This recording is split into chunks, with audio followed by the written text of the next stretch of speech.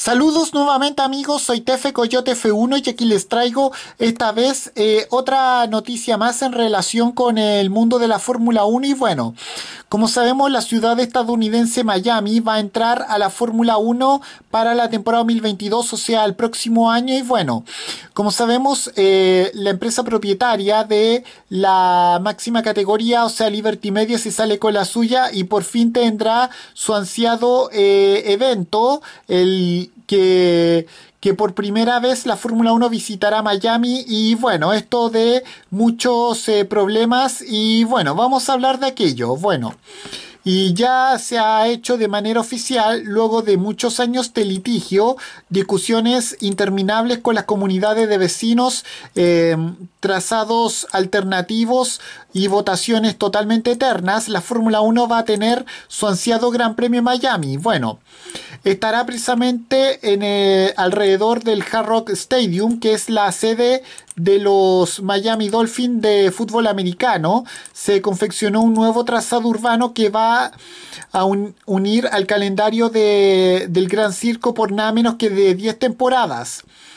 Eh, bueno, posee una extensión de 5,41 kilómetros y posee 19 eh, curvas. Se espera que se alcancen velocidades de 320 kilómetros por hora por diversos puntos de adelantamiento, con los que hace la delicia del eh, fanático norteamericano que tanto ansía Liberty Media a atraer hacia su campeonato. Bueno. Tal como dijeron desde la mismísima Fórmula 1, va a ser el undécimo lugar de Estados Unidos en albergar una competencia de la categoría reina del automovilismo desde que se formalizó el Campeonato del Mundo en el año 1950.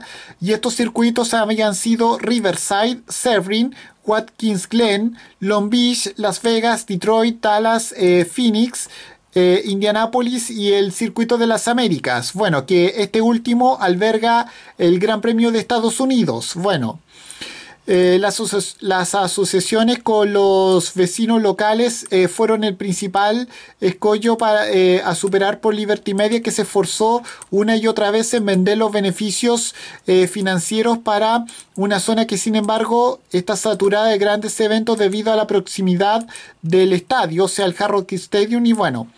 Quizás un año de pandemia mundial fue suficiente para la gente de las para la gente de las para que la gente de la zona piensa en la importancia de esta actividad financiera, consiguiendo recientemente que se aprobara el plan necesario para la entrada de, esta, de este evento, cuyo lugar eh, en el calendario aún no está establecido.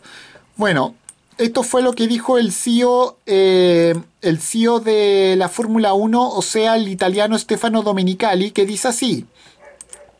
Estamos encantados de anunciar que la Fórmula 1 competirá en Miami a partir de 2022.